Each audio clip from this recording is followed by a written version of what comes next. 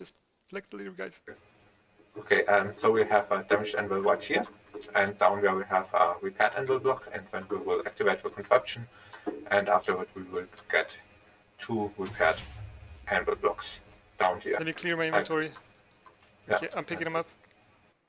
Yeah, okay, so, Yeah, yeah, anvils repaired. Uh, Yay.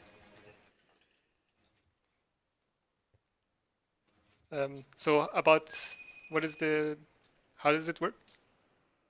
uh, like it works by using some black magic with hash sets which Earth invented to schedule duplicate tile ticks. So what we do, we have an repaired anvil right here, and what we do is we schedule two tile ticks on this anvil. It when uh, it will process these tile ticks and it will create two repaired anvil entities. Okay, and what will then happen is the first of these repaired anvil entities will get processed and it will delete the anvil block and it will fall down. And then before the second um, anvil entity gets processed, we will move into its spot another damaged anvil entity. And when the damaged anvil entity will get deleted by the second repaired anvil entity, and then the second repaired entity, anvil entity will fall down.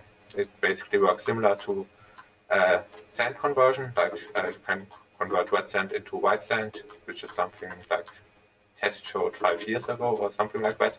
And now we are doing something similar with anvils, and we are using some double tile tick scheduling, which Earth invented to make it possible with anvils, because otherwise it's really difficult to do with anvils or impossible.